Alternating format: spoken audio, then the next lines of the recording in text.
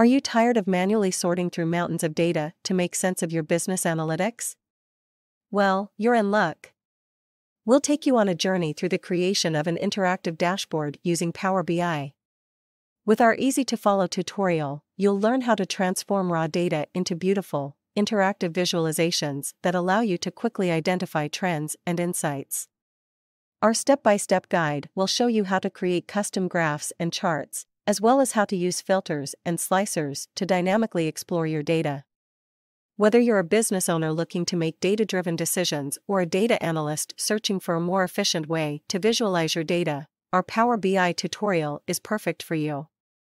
So, sit back, relax, and get ready to unlock the full potential of your data with our interactive dashboard tutorial. You can make interactive dashboard for HR, sales, marketing, IT spend analysis, opportunity analysis, and procurement analysis, much more.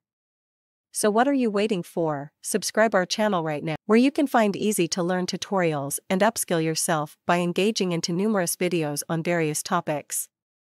We have also made a complete playlist on Power BI for beginners, which consists of more than 50 plus videos for you to learn this exciting and important visualization tool.